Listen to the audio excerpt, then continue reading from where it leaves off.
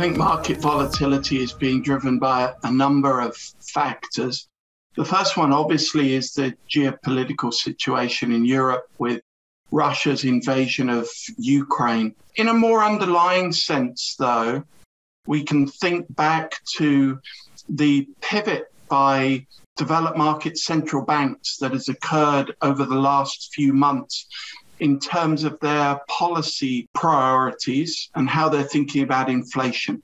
In addition, the third theme that's been around for a little bit longer, of course, is the pandemic, which has really impacted behavior and markets. So, geopolitics, policy, pandemic would be the three sources of relatively heightened volatility at the moment in the grand sweep of history, if you go back and you include some of the big volatility events, 2008 with the global financial crisis or March 2020 with the onset of the pandemic in North America, volatility in financial markets was much, much higher, at least for a time, than we're currently witnessing. So I would characterize volatility in the markets at the moment as elevated, certainly not exceptional on the high side.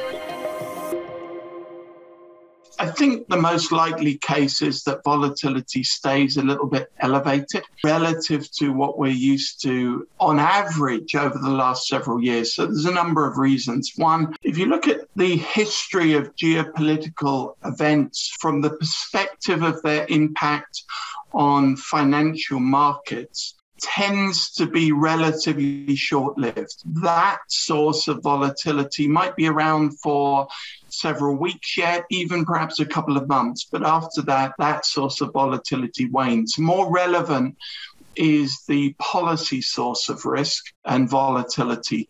So, two aspects there. One, clearly the um, pivot to trying to bring inflation back down to more tolerable rates is generating volatility. And I think that that battle between inflation and central banks is going to last for a little bit longer yet. So that means that that source of inflation will last for a little bit longer since the onset of the pandemic in North America in March 2020, central banks bought a huge volume of assets. And that buying really dampened down market volatility. As part of their efforts to get inflation firmly under control, they will be, first of all, reducing the extent of their asset purchases and then actually selling off uh, the assets on their balance sheets.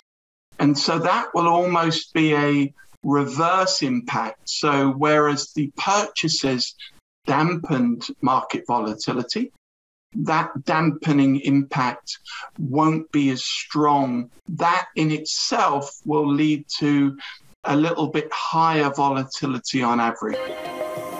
When thinking about periods of volatility, our best counsel is to, as best one can, look through them, continue to focus on long term fundamentals. Ensure that your portfolio is set up to be consistent with your long term goals and objectives because it's very easy to uh, get swept up in the current spike in volatility, the current event risk that is driving that spike. But oftentimes those spikes are relatively short lived. And then afterwards, what we're left with is a re engagement with long term fundamentals. So I think best counsel is to, wherever possible, look through the short term, focus on those long term fundamentals.